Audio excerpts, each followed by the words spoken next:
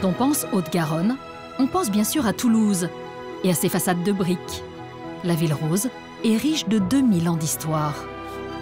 C'est ici que vit François, un artisan aussi passionné par les fromages qu'il affine que par sa ville natale.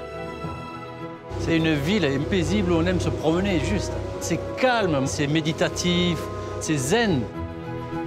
À Toulouse, on aime la tranquillité des quais de la Dorade et l'effervescence qui règne sur la place du Capitole. Mais ce que l'on connaît moins de cette place emblématique, c'est l'envers de son décor, que François va nous faire découvrir avec son ami guide, Emmanuel Rossignol. Trop content que tu me fasses faire cette visite. Derrière la façade néoclassique de ce bâtiment du XIIe siècle, qui abrite l'hôtel de ville, se cachent des pièces d'apparat, dont la salle des illustres. Longue de plus de 60 mètres, elle est classée monument historique depuis 1994. Elle est magnifique quand même. hein. Elle est belle, hein, notre salle des illustres. hein. Ouais. Moi, c'est vraiment une salle qui me, qui me remplit d'émotions. Je trouve que c'est un peu le cœur, le cœur de Toulouse. Oui, c'est un peu le cœur battant de la ville. Alors là, on pourrait faire un cours d'histoire et résumer l'histoire de Toulouse, puisque les grands hommes, les femmes qui ont marqué l'histoire de la ville sont ici. C'est pour ça qu'on appelle la salle des illustres. Voilà, elle porte bien son nom. Inspirée de la galerie Farnèse à Rome, la salle des illustres, avec ses plafonds peints soutenus par des colonnes de 9 mètres, se veut résolument chic et clinquante. C'est notre Versailles à nous. Regarde les peintures. Ouais. Regarde François, si tu lèves les yeux, elles sont marouflées pour la plupart. C'est-à-dire elles ont été faites en atelier, découpées et collées, collées. marouflées sur le plafond. Donc c'est plutôt, bien fait. Là, on a une belle harmonie d'ensemble. On veut offrir aux Toulousains un décor presque aussi beau que celui d'une cathédrale en quelque sorte. Pas étonnant donc qu'on y célèbre les mariages. Bon, Emmanuel, euh, j'espère que ton mari n'est pas trop jaloux. Non, ça va. Moi, j'ai pas eu euh, la chance que tu as eue de, de me marier ici. Allez, on va faire que comme tu veux si. bien euh, qu'on remime ta scène Allez. pour que tu me parles de ce magnifique tableau? Celui-là, il est chargé d'histoire, oui. C'est la libération de Toulouse. On est au Moyen Âge, on est en 1218, et les Toulousains et Toulousaines s'affairent pour reconstruire les murs qu'un certain Simon de Montfort avait fait détruire, représenté par un lion. Regarde le lion là-haut dans les nuages. Les Toulousains gardent tous un mauvais souvenir du redoutable Simon de Montfort, qu'on surnomme le Lion. En pleine croisade contre les Albigeois, le Lion, qui a déjà fait tomber la ville rose, se heurte aux tenaces toulousains, qui trois ans plus tard, comme le raconte cette toile, vont se révolter. Et donc là, il y a trois femmes au milieu du tableau. Et oui, l'histoire nous raconte que ce sont trois femmes qui ont activé une petite catapulte en bois et par chance et par bonheur pour les Toulousains, le boulet va tomber sur la tête de Simon de Montfort. Nous sommes le 25 juin 1218, Hourra Hourra, Toulouse est libérée. Donc Toulouse est un peu féminine. Et, Toulouse et, est une femme, et rebelle donc. évidemment. Alors Emmanuel, on va aller voir un petit peu le Capitole. Allez, allons-y, prenons de la hauteur. Magnifique cette place. Oui, toujours aussi belle.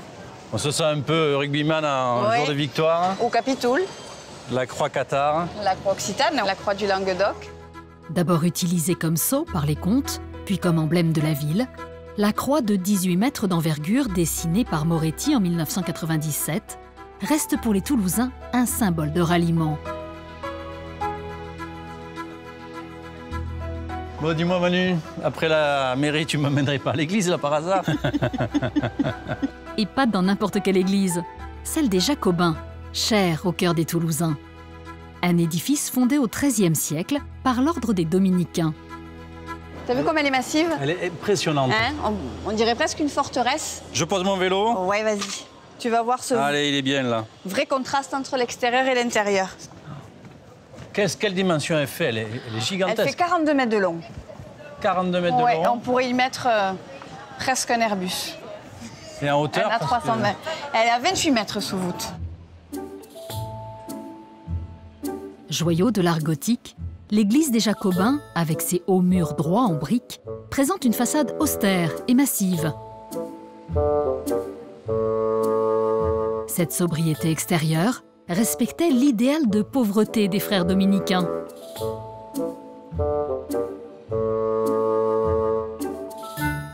Mais à l'intérieur, le décor est nettement plus flamboyant.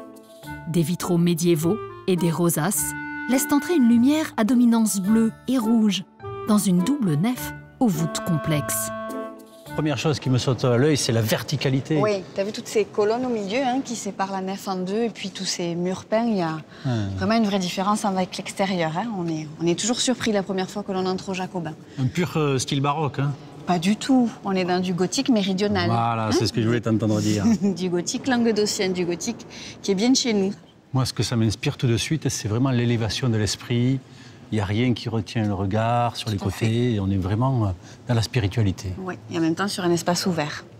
Et au bout de ces colonnes, il y en a une qui est un peu particulière, je vais te la montrer. Le palmier. Oui.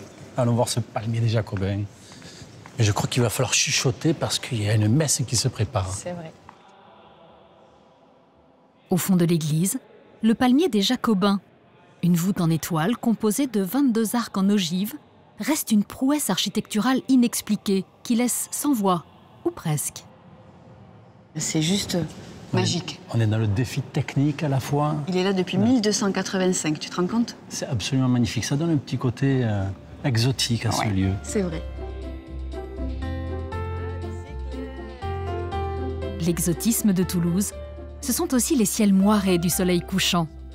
L'heure pour François et Emmanuel de se rendre dans l'un des 74 hôtels particuliers de la ville. C'est juste là. Yes Le fameux hôtel d'Acézar. Allons-y. Derrière une lourde porte en bois se cache une bâtisse Renaissance à la hauteur de l'orgueil et de la réussite de son commanditaire, Pierre d'Acéza, un marchand de pastels comme la ville en comptait beaucoup. On est vraiment dans l'hôtel particulier le plus emblématique de la ville. Et c'est étonnant parce que les murs sont vraiment en briques et l'hôtel lui-même expose la pierre. Oui, sur les colonnes, sur toute la décoration Renaissance. La brique, on l'a sur place, on est une terre argileuse, ça tu le sais. Par contre, la pierre, elle, elle vient des Pyrénées. C'est un coup de la faire venir à Toulouse. Donc dès que tu vois une église, un hôtel particulier qui affiche cette bichromie, tu peux être sûr que le propriétaire, exactement. Tu sens qu'il y a de l'argent Beaucoup, beaucoup.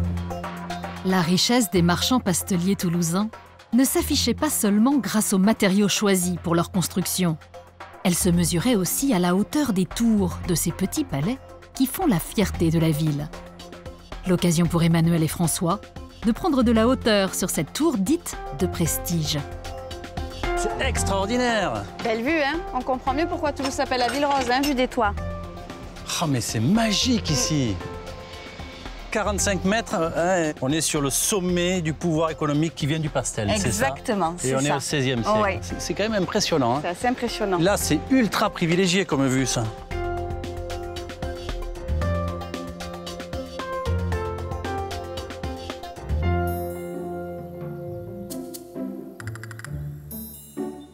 De la ville de Toulouse au Lauragais, plus rural, le pastel a fait la prospérité de la Haute-Garonne.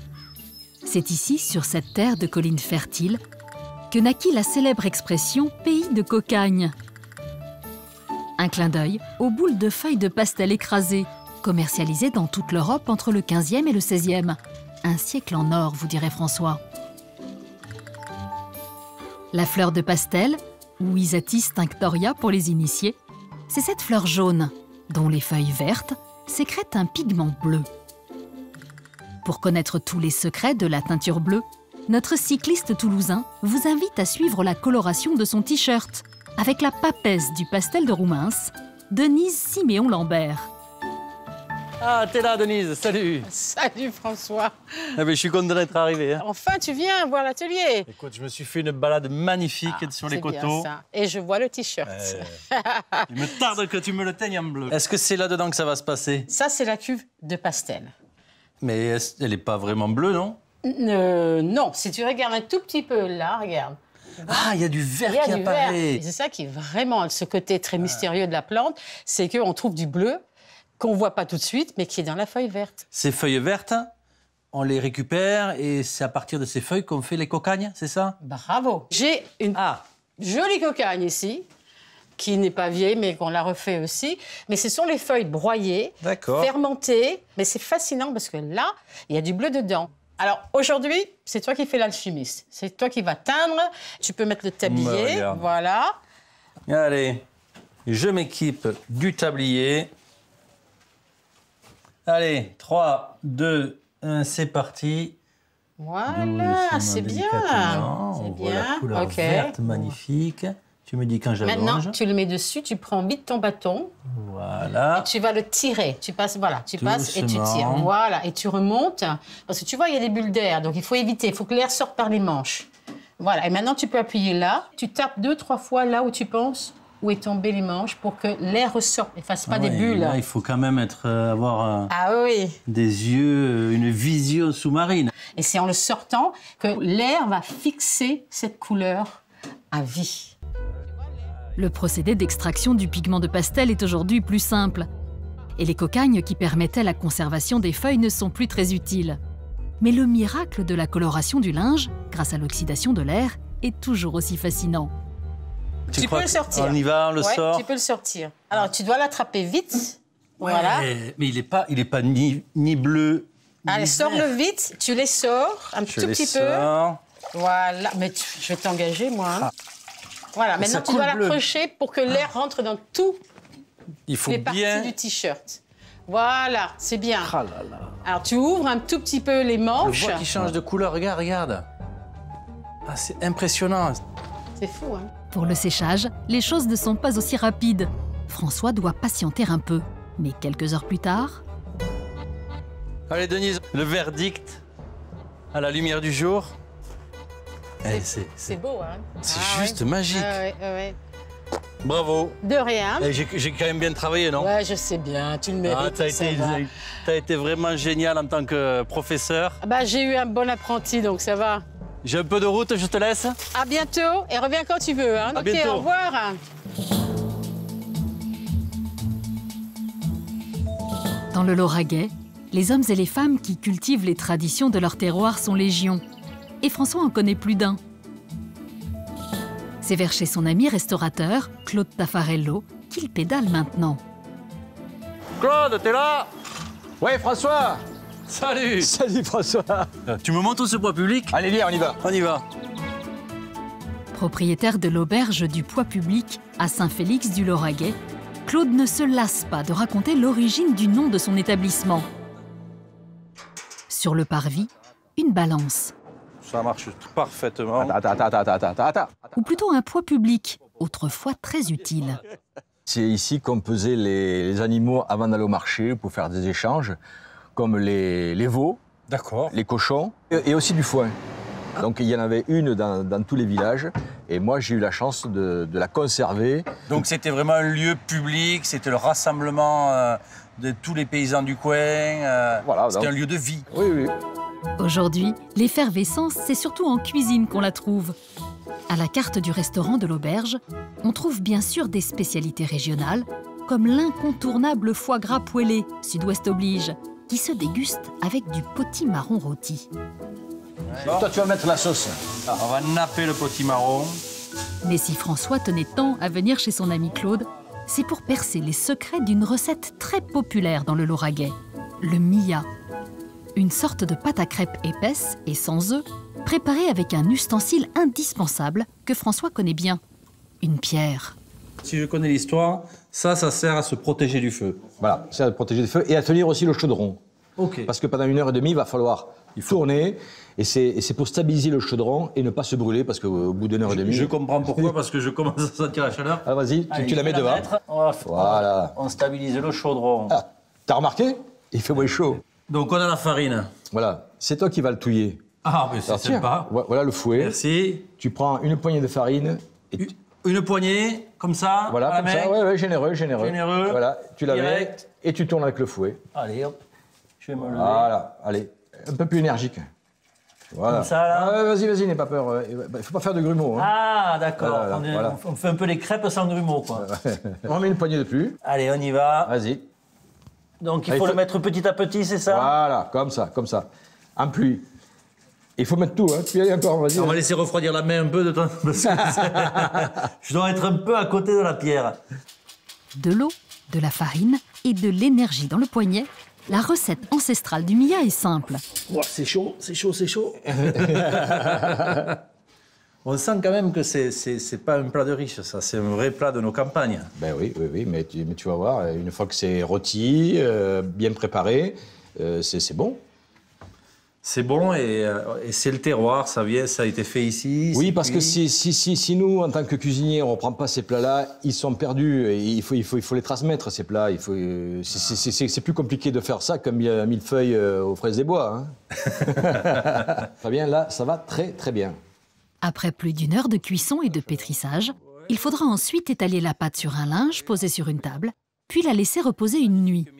Alors là, je l'ai préparé la veille, hier, donc, pour qu'il soit bien froid. Et là, on va le découper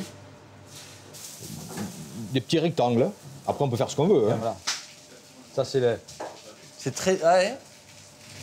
Peu d'odeur.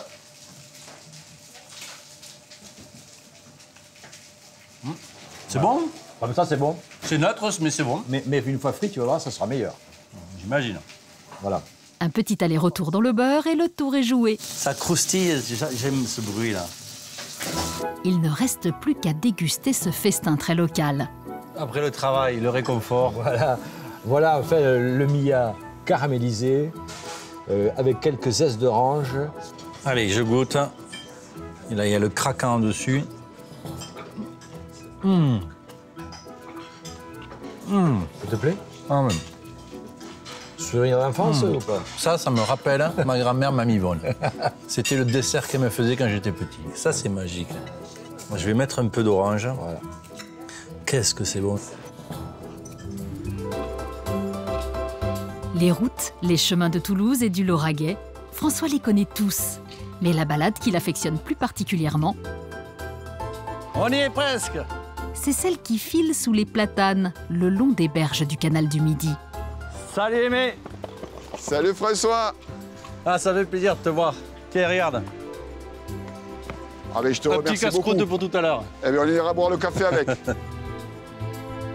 Grâce à son ami batelier, Aimé Fiores, François nous embarque au fil de l'eau sur le plus ancien canal d'Europe encore en fonctionnement, pour une croisière au cœur de la généreuse nature de Haute-Garonne.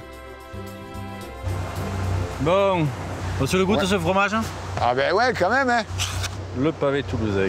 Il est pas beau Ah, félicitations. Voilà, alors ça c'est les, les affinages de un an. La croûte se mange. Ok, bien, merci bien. Quand même, on est sur un ouvrage symbolique. Il nous fallait un fromage symbolique. L'ouvrage, surnommé la machine hydraulique, fut creusé pour ouvrir une nouvelle voie de transport permettant de relier la Garonne à la Méditerranée. Un projet aussi improbable que génial, imaginé par Pierre-Paul Riquet, un ingénieur visionnaire. Les travaux ont débuté officiellement début 1667. Pour que le canal soit au fonctionnement, les travaux ont duré 14 ans. C'est à la pelle et à la pioche quand même. À la pelle et à la pioche. Alors pour faire ces travaux-là, Riquet a quand même utilisé pas moins de 12 000 ouvriers. Donc c'était quand même quelque chose de phénoménal. Le chantier du canal, auquel à l'époque personne ne croit vraiment, est titanesque. Il se révèle également révolutionnaire. Avec les dénivellations naturelles du terrain, l'opiniâtre et ingénieux Riquet prévoit la construction de 126 ponts 55 aqueducs et 63 écluses indispensables à la navigation. Le canal sera le projet le plus pharaonique du règne de Louis XIV. Merci, bonne journée. Au revoir. Mais il sera également l'un des plus coûteux. D'après ce que je sais, quand même, Riquet, c'est un entrepreneur, donc il, il, finance en grande partie au moins sur ses propres deniers.